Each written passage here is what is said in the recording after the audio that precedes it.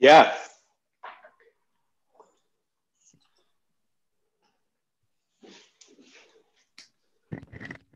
Hello, everybody. Um, I am uh, Max Warsh, the Director of Programming at NADA. Um, we are very excited to have, with, have you with us here for this program, along with Azikiwe Mohammed and Good Weather Gallery in North Little Rock, Arkansas. Um, first, we will hear a new sound work by Azikiwe, Outside and With Place, that is situated within the exhibition at Good Weather. Uh, the exhibition itself, uh, Welcome Home a Sunday Afternoon, happens within Mariel Capanna's mural, Little Stone Open Home at, at Good Weather. And we'll hear a little bit more about that in a moment. Um, after the sound piece, there will be a short discussion with Azikiwe and Haynes. And we'll also take any questions from attendees at that time. If you do have a question, uh, please put them in the chat and we'll answer them then. After that, uh, Azikiwe will do a raffle drawing for one of the sandwiches from the installation. Um, proceeds from the raffle tickets go to support the Amboy Community Food Pantry, which is a local nonprofit that serves Good Weather's city of North Little Rock in Arkansas. And thank you to anybody who's already contributed. Um, if you still want to get a raffle ticket, uh, this is your last chance. They're $20. And until the end of the sound piece, which will last about 15 minutes, uh, you can get a ticket still through Azikiwe's PayPal, which we will add into the chat as well. Um, and with that, I'm going to pass it off to Haynes Riley from Good Weather Gallery. Um, and thanks for joining us. Yeah, thanks, Max. Um, thanks, Max. Yeah. So what we're doing here is like a live simulcast of uh, an exhibition which Azikiwe Mohammed has worked on over the course of you know the past six months. And so, anyways, what what you're seeing here in the video uh, is some close-ups of that, as well as like a full view of a space in North Little Rock, Arkansas. So I'm just going to give a little context of what Good Weather is and what this space is, and then sort of hand it over for Azikiwe's sound work, and then afterwards we'll have a discussion about uh, all the different layers uh, of this. So uh, Good Weather is a gallery that was started in 2011 and it started in a suburban garage in, in Lakewood uh, in North Little Rock, which is a city uh, across from the capital city of Little Rock in Arkansas. And at the end of 2017, artist Mariel Capanna came uh, and produced a solo exhibition, which turned into a permanent fresco and ongoing work, uh, which has served as the backdrop now for three different iterations of programming uh, at our at Good Weather's original gallery address. so what you're seeing here uh, is the third iteration of that. The first was uh, a work by Dustin Metz that lived in the space for three months. Uh, last year, we programmed an exhibition of sculpture and paintings by artist Dan Gunn from Chicago. And then this year, the programming sort of, uh, in this programming, we invited Azikiwe to bring this uh, suite of traveling sculptures that we'd seen him present uh, in Mexico and Puerto Rico and elsewhere. Uh, and we asked, you know, we asked Azikiwe to sort of present these works in this space. And we'll talk more about that conversation and and and the, the picnickers. But for now, let's uh, pass it on to Azikiwe, uh, who can really premiere this this sound work and uh, you know we can all sort of be in the space together. Yeah, thanks for thanks for tuning in. Thanks for thanks for having me, Max Haynes, and you know behind the scenes, you know Aaron and Hunter. It's about uh, it's about 14, 15 minutes, so I'm gonna turn off my video and and play a jam for y'all. Nice.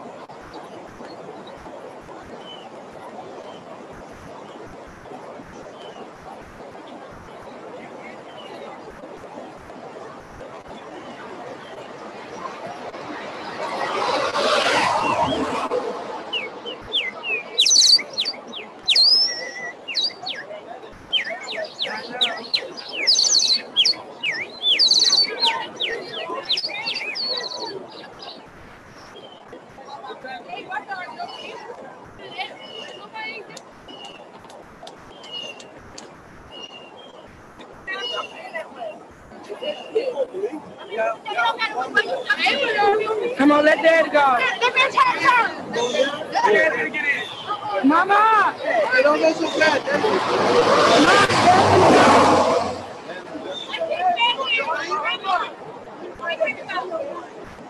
Take care, you're trying to go. Help up that Charlie. No, mom, move, Malik. Come on, Malik. Turn around. Turn that way, brother. Turn. Right there.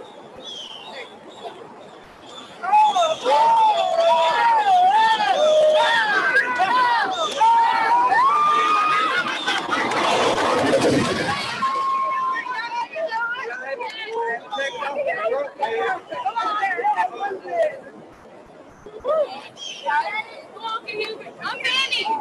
I'm Fanny. I'm Fanny. Okay, you just gonna go.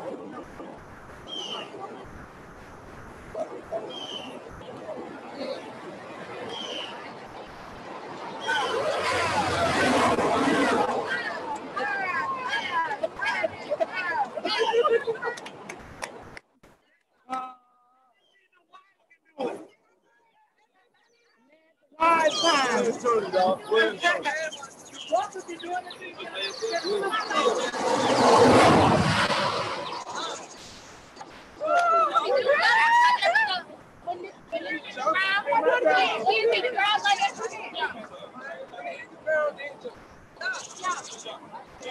Good job, London. Job, London. Yeah.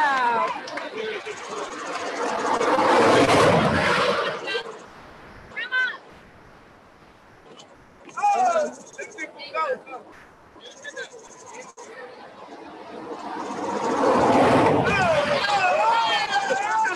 you, out, you got one leg, boy.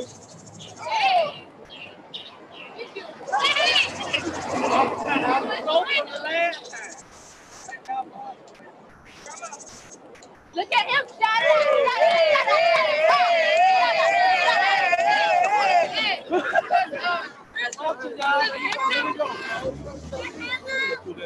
I know.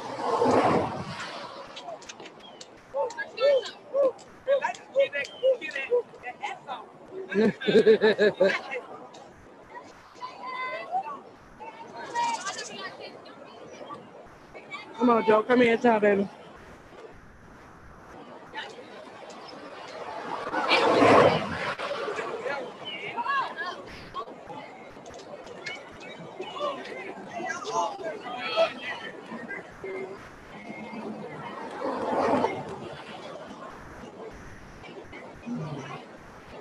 a really bad day that involves rain, having to carry an umbrella everywhere, like that, um, having to ride the subway with people surrounding me and you know, kind of claustrophobic who are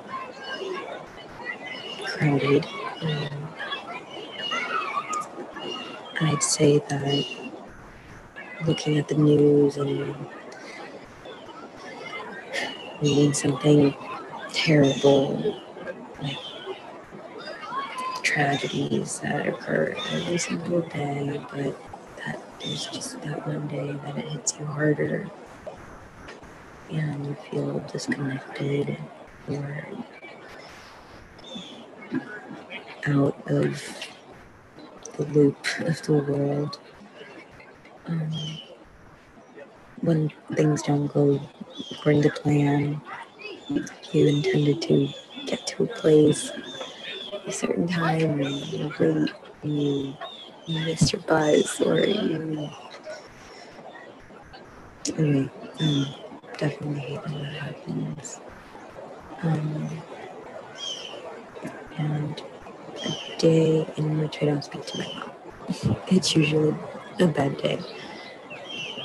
Whether it is because I didn't have time or opportunity or didn't feel like it, it's usually not a great day if I don't talk to her.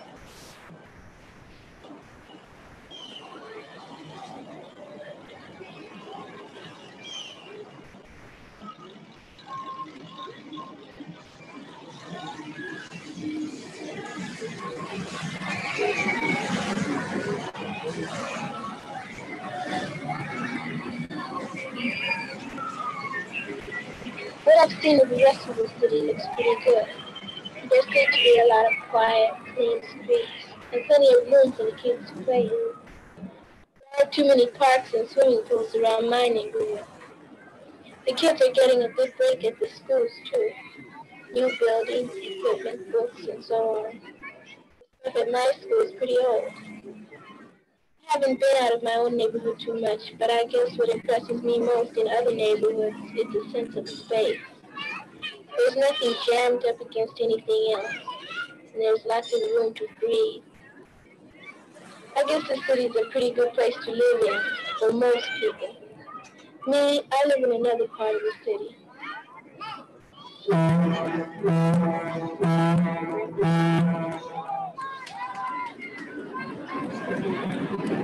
perfect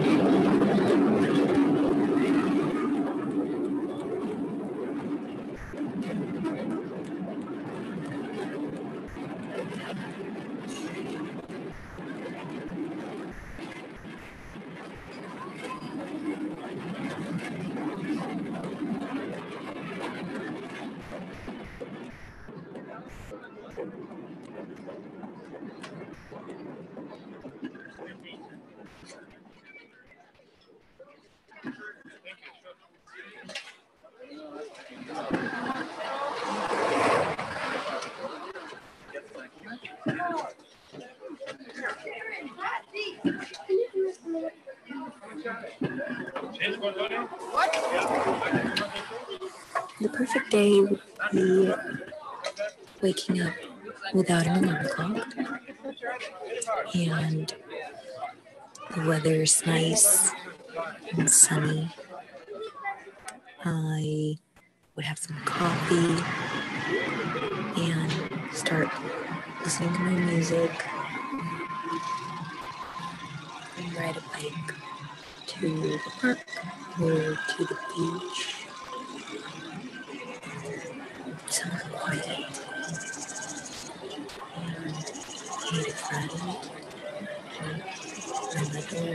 My sister. And just hang out. And maybe read a book. Listen to music. And have some good food. Mm, some seafood or sushi. And, and go home and go to sleep early.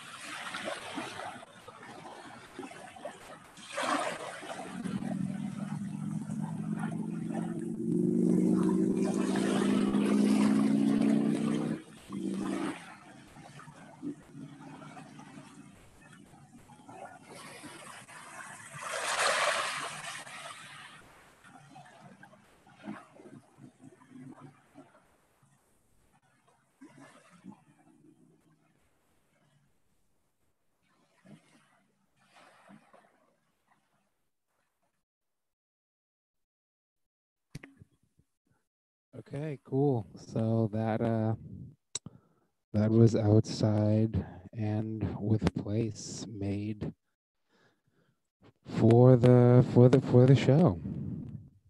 Oh, and I can take my head I can take my headphones off now. Right. That was incredible. Thank you. Thank you so much. Um, yeah, and thank you to Hunter and Aaron for setting that up to to really, I mean, really just like sort of, I don't know, my heart's beating a little bit because it gives life to, you know, objects, inanimate objects that already like, you know, we project certain things onto, but that that right there, that experience, uh, I don't know, it's it's unexpected. I know we were planning some things, uh, but it certainly I don't know. That was the first time we just, just you know, it all came together. Um, wow, Azikiwe. I was just hoping to hoping to give context to some of the things that I've been thinking about with this body of work. I never intended it to go on tour. um, yeah but you know, as as uh, you know, anybody that's seen it in person, um, again, I just have to say thanks to Aaron for really just uh, showing them such a nice time. You know, mm-hmm. stops along the way from here mm-hmm. down down to North Little Rock. They're full people. Yeah. You know, they have personalities. I feel like the more porous an object is, the yeah. more space inside of it exists for these ghosts.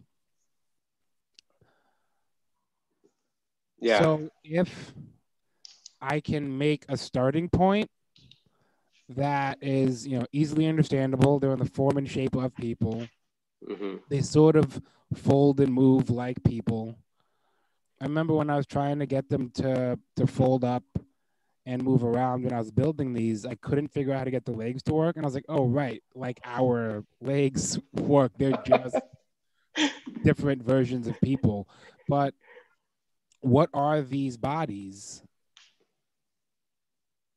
able to do that ours aren't? What are the spaces that they can inhabit? I don't mm-hmm. have access to anybody's personal form at a at an intimate level where I can measure all parts of a said person. So they're all my scale. Yeah. So they're, they're all pretty size. Yeah, I try. I was like, oh, if I just take two inches off, then one's smaller than another. So they're kind of different, but they're all different versions of of my size. So seeing them, you know, take actions that yeah I would like to, but can't always. The first place that these were were at Public Swim Gallery in the like Lower East Side Chinatown in uh, Manhattan, uh, New York at the end of last year, I believe. Wow, um, I none of us have any sense of time right now, but that also feels like yesterday somehow. Yeah. So, um, you know, brown bodies being allowed to have time of leisure, physical space in which we can congregate without being bothered, being able to stay in one place for a long period of time, which is something that is inherent in the you know sculptural medium, which is why I thought this would be a great space for for sculpture. I know you know a lot of people have heard me say this. Idea comes first, follow the form of the idea, and then the object is going to make sense in the end, right?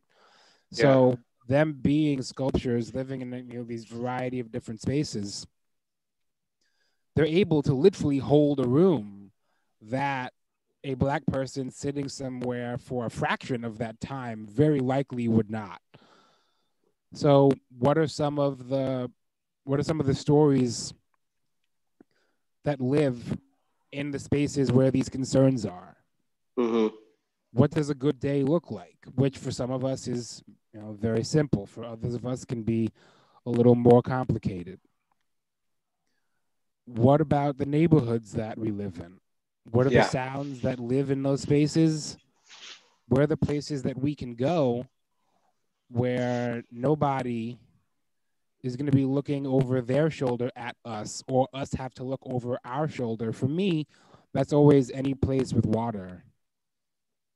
Because if you're at you know, river, beach, ocean, chances are we're both looking for the same thing. So I think of it like going to a, a, a sporting event. Me and you may not be friends outside of here, but we both have on this same weird, you know, Buffalo Bills jersey. So I know there's certain decisions that you've made that I also have made that are going to let us get to further stuff. Right? So trying to provide what that what that soundscape looks like both you know location based word based a little less word based and you know thank you for providing me uh, space to do so haynes. Yeah, no, it's all the things that you're speaking to, you know, when I think about this work specifically in the context that it is, uh, it it really sort of brings up, you know, an opportunity to have discussion about what space is and who space is for. And I think when when I think about this work specifically, there is a way that an artist and a gallery adapt to each other to operate to sort of really provide space for then their creative spirits to kind of come out and work that they're doing. And I guess what I'm when I'm hearing you talk about this work and when I think about the sound piece that we were able to present via Zoom with Nada and like you know really sort of expand what this work is and expand the meaning uh, of it in in the space that it currently is in North Little Rock. Uh, it makes me, yeah, it, you know, it, it, it fills me with a lot of joy uh, to to to be able to to do that and to to see you make work that has so much meaning and work that has so much, like you said before, like porousness for for these conversations to sort of enter. Uh, I did. I wanted to mention a few things as you had just about this this this work itself uh, and and the the kind of serendipity of it. And I'll, I'll try to be brief uh, because essentially in December uh, we we were talking about this and, and Leah Dixon, uh, who's a close you know advocate of yours uh, and shown your work in many places, and who I've seen your work through, uh, was so excited to connect us to make this happen this past December. And then the pandemic hit, and then like things changed with like even the meaning of this uh, work in a sense like the idea that these these folks could travel and and the way they traveled was stupendous you, and you mentioned Erin picking them up and bringing them on her camping trip with her uh, you know and picnicking in, in, in New Hampshire in, nas- in national parks or national forest and then elsewhere while she was traveling and, and ultimately landing here in North Little Rock in July. Uh, and on a timeline that we hadn't, you know, we had to sort of reshift around uh, what had happened. But again, pandemic, Black Lives Matter movement, uh, like having another resurgence, you know, uh, uh, uprisings. And, and there's so much of this idea that it couldn't have happened at a better time. And I think that's just kind of the investment that you've put into your work and your community and the spaces that you're sort of in, both in New York, nationally and internationally. Uh, for us, though, uh, you, know, you, you you came back with the title. It was like "Welcome Home" a Sunday afternoon, and it literally, on a personal level, was like the first day uh, that our uh, nibbling came home from the from the hospital, uh, Zoe, and that was a Sunday afternoon. You know, Zoe was born on like a Thursday or Friday, and Zachary and Taylor, my brother and sister-in-law, who live in the house that and own the house, which is this space, and this is good weather. Uh, as good weather existed uh, for four, five, six, seven years. Uh, and what I said at the beginning, you know, it's Mariel Capanna's project, Little Stone Open Home. It's a permanent fresco that we've been programming in. But for this iteration, all these this timing and this kismet around when it's happening, uh, it's it's inspiring in a sense because that that space, that art opens up for people to have discussions and to learn about others' perspectives and to understand what Azikiwe is saying and what the work is saying. Of to that to begin on the day that that young person came home, and, and for Azikiwe to title this and, and, without knowing even those kind of you know turn of events, uh, it really it really just yeah when when those things come together. Uh, at a moment in time it's awesome well i mean it's one of those it's one of those funny funny situations where you make work around certain issues. Yeah. Um, you know, just things you're thinking about, you know, stuff that you're, um, I guess, signal boosting, right? Yeah. Because, yeah. you know, these are ideas that, you know, hit home for some of us, but, you know, not for all of us. Again, um, it's taken what two to I guess seven months at this point. Who knows, right? Like um, two to three months of living in our you know thousand square foot homes with wine delivery and Netflix for us to finally understand what somebody in a five by five foot cell for 20 years for something mm-hmm. they haven't done mm-hmm. is living like. Mm-hmm. Now that's mm-hmm. less of an abstract. It's not a that stinks. It's this stinks. Right? So trying to answer the question, you know, how is the pandemic changed your work? I mean, there's there's material concerns. You know, I'm not able to make, you know, larger scale work, which is something that I, I do as often um, as I as space provides. But these issues that are coming to the fore at you know this point are the same that a lot of us have been thinking about for a long time. Like yeah. this body of work predates this circumstance. Yeah, exactly. Right? Um, now, holding space, that phrase has changed so dramatically. And um, to be allowed into a space that holds so many and so much, because, you know, Little Stone Open Home, this fresco, you know, Mariel Capanna made with so many of the people mm-hmm. in North Little Rock there's so many different small stories and pieces. And I asked, um, you know, Haynes, as we were talking about bringing this work down there, so could you send me like a few pictures of like some of the different areas so I can get a you know a better look around? Because you're not doing a site visit. Um, so, so trying to see what some of those moments were, and then making new portions to add to what is already a continuing story is something that I always hope to have space for and be able to do, you know, whenever whenever possible. Um, if the you know the art humans in charge just kind of let me make more stuff they haven't seen for the mm-hmm. show.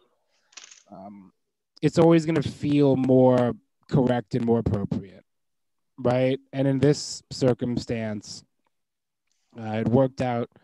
I think I think very well.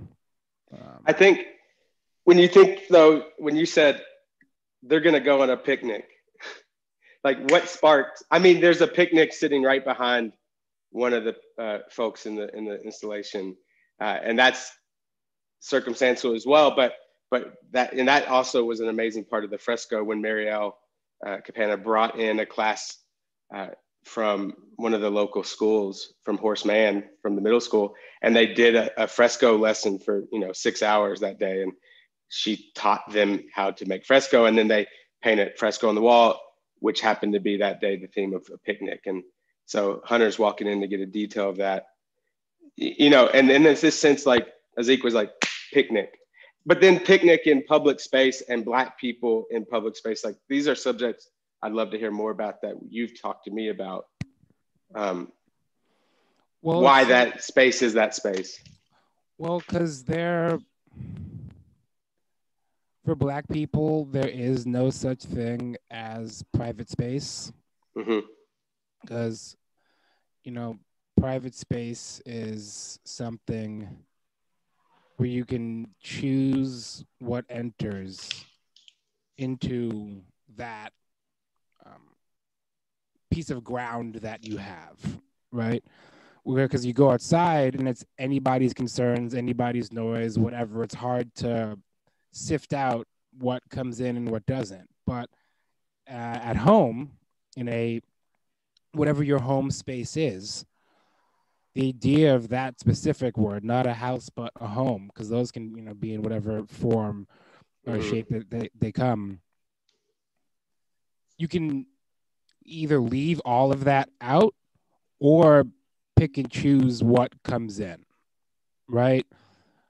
But if you can't pick and choose what comes in, then it sort of invalidates the space that you're trying to build, which is home, and then leaves you with another version of a public. So mm-hmm. Sometimes that's good, sometimes that's not so good, because you know one of those concerns is always safety. You know, I don't yeah. want to have somebody um, harm my physical form, they can't do that behind this door that only me and two or three other people have a key to, right? But if you go outside and we're killed outside, but then you enter your home and then you're killed inside of your home, mm-hmm. then what's the difference between those two spaces? Mm-hmm right? Your home is a space for rest, to have access to resources. I know how many times have you heard there's food at home, right? Mm-hmm. Um, you have your food, you have your water, and these are clearly ideal circumstances. Not everybody has access to any of these things at all times, but that's one of the things that we're trying to help do today is um, address um, the access to one of those very important you know tenants um, access to food right so if your outside is the same as your inside then the activities that you take in one space are going to mirror the other so you have the person on the Bluetooth speaker playing the music that they would be playing in their house outside, because that's also mm-hmm. their home. We've done that to them. That's not their decision. We've made, we've stretched that door out to infinity, right? Mm-hmm. So,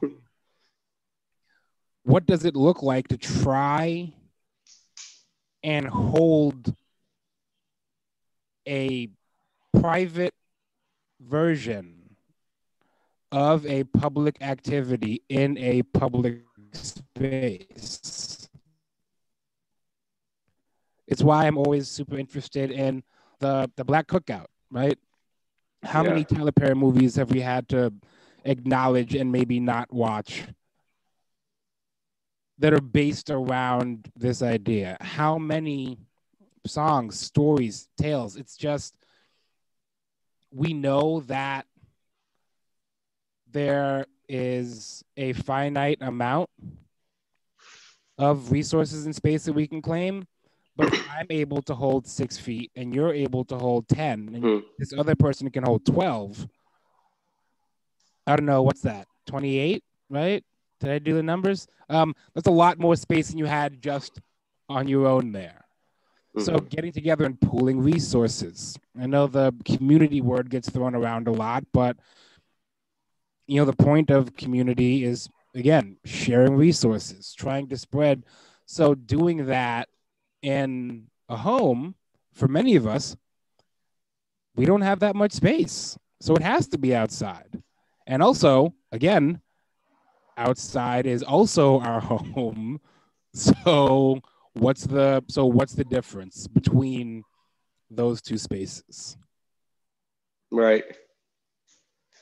I yeah, it's it's interesting now specifically like play the kind of hospitality that good weather exists on is very difficult to to uh, match because of like the pandemic because of the bubbles that we now are all in as far as like the social activities. And so again not to because these folks have been you know on the beach you know in spaces in puerto rico where we saw them. They've been in bars and, and like in smaller you know gathering spaces. And now before the pandemic let's have a picnic. Now with this pandemic in you know like in our lives like this is the way that we can form community on zoom through screens in public spaces six feet apart gathering to eat and to, to convene.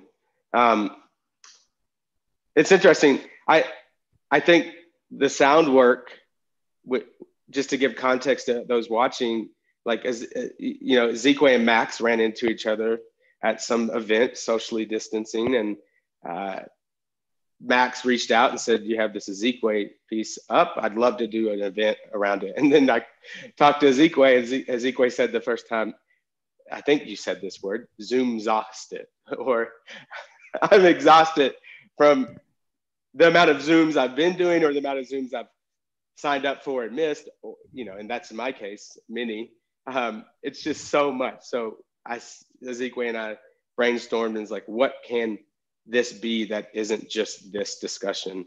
Um, and yeah then your brain went some somewhere like a sound work and this is incredible. Like how did that, that all this kind of sound you've been gathering has it happened over the course of the three weeks or is this from years of of picking up like your environment So so both I have um I just do I do sound recording you know whenever um the time and place is available to me. Um so I have a, a backlog of noises that I can pull from you know in circumstances like this where me and Max uh, bumped into each other was at a show I had at the Elijah Wheat showroom in Newburgh, New York. And the way that Elijah Wheat showroom is built, it's on you take an elevator up to get there. It's on a giant swath of land. So it's, you know, the pod that you came in can go up, see whatever. Mhm. Everybody else can be way more than six feet apart if they're interested. It's directly on the Hudson. It's just sitting Wow. right. It's 15 feet away from the water. So, hmm. you know, whenever I'm up there, I have I have my audio recorder, and you can you can hear the water. The smell of it is constant. You know, I I I had mentioned you know my relation to water a little bit a little bit earlier. So as I as I, I bumped into Max as he came to you know one of the events in tandem with the show at Elijah Wheat showroom, I had already been thinking about this. I had already had because the I mean the sound of the water is there when you're at the showroom. So Mhm. it was like already in my head. And as you know, we're thinking about you know public programming that makes more sense in this time and space that we are currently sharing. Mhm. Something where you didn't necessarily need to have a screen, where you could get up and kind of walk around the room some, right? Um, where you would have an opportunity to pick your level of engagement Mhm. and select where your um, where your starting point of interaction comes from. It felt like it made the most sense. So Yeah. as I was putting together this soundscape, um, some of the pieces are you know sound sound bites, clips that I've had from you know other things that never never made it out of the the sound folder. Others were you know newly made just for this, and then once you have everything laid out, then you kind of move it around and see what what else um, can turn those corners for you, right? Mhm.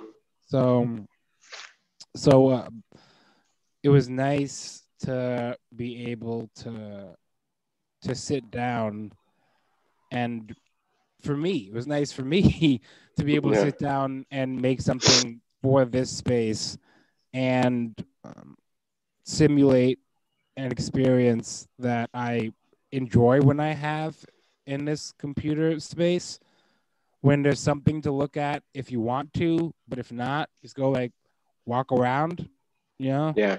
Yeah. Um, so trying to let people still tune in, but use the rest of their physical space, um, however they're however they're interested in doing so. Yeah. I do. I want to say one thing and then ask a question. We, well, if anybody has any questions, uh, I think uh, Max has the chat open for you to, to sort of pick up and be part of the conversation. we do have a raffle that Max mentioned at the beginning. And I don't know if we want to check on that while we're talking. Yeah, there's a little. So we got you know, donations uh, up to 15 donations so far at $20. Uh, Azikiwe's tossing in 100 and Good Weather's matching that for 100. That's $500 so far that this sort of program has, um, uh, you know, built into it a, a, a, way to to give back to the community, and in this sense, give back to North Little Rock, the community, a community in North Little Rock. Uh, that being the Amboy Community uh, food pantry, uh, which is a food bank in our city. Wh- what I was wanting to, so yes, ask questions, donate soon so you can get part of the raffle. My question was, uh, Mariel's in the audience. I, I don't think she's on video or not, but like when I think about her work in this uh, fresco, every time, you know, it's been in this space for three plus years every time I enter the space, there's something new uh, to to encounter, to find. And I felt like the layers that were happening in the sound work, I, I need other listens with it, just to sort of live with that work and see what else uh, I can pick up. Because at some point I was texting Hunter uh, and Aaron, like, you know, it, it feels like these people and like inside their head what they're thinking as they're at this picnic you know and, and that i think that only landed because hunter was like on one of their faces with the, the close-up videos Yeah, that was just great. I, I love that y'all came up with that. That was just so so wonderful. Thank you. it was like all these bubbles were just like yeah it's so it was so good it was so good and the sound work like within that space and within that experience was really really layered. And, and i and i think that aspect of it and the aspect of this zoom call like it's like what is zoom as it's adjacent to the things that we're doing? What we wanted to do and what we i think you did successfully Azikiwe, was turn zoom into another tool another platform to create work. So and to layer this experience. You have Mariel's you have the gallery of good weather which turned into Mariel's fresco which has turned into a program within itself. And now you have your installation of, of sculptural objects this picnic uh, that's happening there. And then this sound through this digital experience that is fleeting but recorded uh, all of that turns into this to this living you know work of art. Uh, and yours will go on and live new lives. The fresco will go on and live new lives. We all will go on and kind of changed in that way. And that's yeah i'll start stop speaking so much but i, I just wanted to reflect on that and point out the kind of well, let's get to something fun. Let's get yeah, yeah, yeah. fun, right? Let's let's pick a name out of the lunchbox.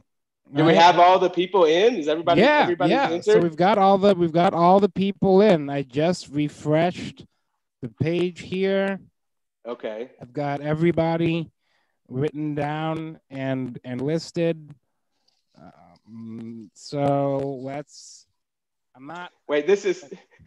Look, I can't. I can't look. I can't look. yeah. Okay. Um. Wait, how? Who folded? There's extra tight, so you you might feel some textural difference there. Oh no, I, I just cut them up. I mean, this is so um during my during my my tenure as an educator, this was my favorite way to pretend like it wasn't up to me. Um Who went first in the presentation? yeah, or- always always just pick out of put your name down, p- pick out of a hat, right? Just don't, right? So, yeah, no, this is the same way that I've been doing this for 20 years. But there's an This actual winner this time. Let's There's see. some suspense though. This is lots of suspense. Yeah, raffles Uh, are great. Okay, let's see what we got. Um, Oh no! oh, no. wow, o- Owen Duffy. There you Oh, go. Owen Duffy. Okay, But is Owen Duffy in the audience? I don't know. I don't know if Owen's. I don't know if Owen's here, but Owen. Uh, Owen just just won themselves uh, a sandwich. Let's see the let's see the name on the paper though, because this Uh, there this go. this there we go. That's Owen amazing. Duffy. Yeah. So um, I know I know Owen. I'll just I'll give it I'll give it to him personally. Wow. Yeah, let's Super get a close up of the sandwich. This this is Zequa's got a sandwich in the studio like the ones in the installation here. Yep. So what what is on the sandwich? Uh, lettuce, mayonnaise, Well, tomatoes. I try to make I try to make it so that there's some sort of uh, a color palette, right? So Yeah. there's like vegetable, meat, and then another s- another substance that like might be like cheese or maybe it's mustard or like maybe Yeah. it's, I try to leave it open. Yeah, you my- choose. Yeah, because my favorite sandwich is the surprise sandwich. You know, when someone's like, "Hey, like you hungry?" Like, "Oh yeah, give me a sandwich." I'm like, "What's this? This what? It, what? Like that's the best sandwich you can have." Yeah, you yeah. know? So I tried. Your to- imagination. yeah, is- the is- imagination sandwich. And it was like Yeah. um, like that weird scene from uh, Robin Williams' Hook. Yeah. You know, like Oh. yeah, like- Rufio, and they just imagine all the food there. Yeah, right. That just feels wonderful because you know all eating is a ceremony of some sort. Because Wow. If you really just needed nutrients, like 15 pills on a bar, you're good, right? But if you're choosing to eat specific things, there's a ritual that you're going through where the ingredients are coming from, the ritual of the time that you went to go get the stuff, the potential of you sharing it with somebody that is time spent and then resources shared. It's a whole other circumstance that you're going through when you're choosing the decisions of how to keep your motor running. Right. Yeah, yeah. So trying to not put too fine a nail on the head with whatever we're handing out, but it's definitely in um, sandwich shape. And you know, as Haynes said, we made about you know 500 bucks to you know get some um, get some maybe sandwiches into the hands of some hungry people. So that feels real cool. So thank you That's everybody incredible. for for helping us to do that, which really really feels like the reason for the season. Right. Yeah, this was awesome. I guess to, to close out, if, if if nobody's asking any questions, uh, Azikiwe, can you give a little shout out to your to your uh, your DJ set on WFMU so everybody can tune in?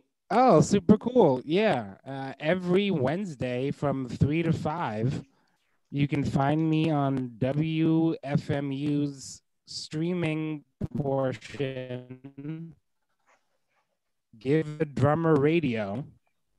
So you just go to the website, it's right there. Um, or, you know, I don't, man, I had to close my internet to make the video work. To drop the yeah, drop a link um, in the chat. Yeah, uh, just FM. Yeah, FMU Black Helmet. Every Wednesday from from three to five. Um, all the archived shows are up there. New shows every week. We're doing you know special shows this week, and then this is the last week of our October Hellraiser. Trying to you know raise some bucks to keep independent radio going because they're um, it's all it's all listener it's all listener funded. So. Mhm. Wow. I hopefully people follow up on this and we can send a link to that. But yeah, WFMU, uh, give the drummer radio is it's um, on the website. You can find a link to it, and that's three to five Eastern time. Uh, DJ Black Helmet, which is Azikiwe's, yeah, a name.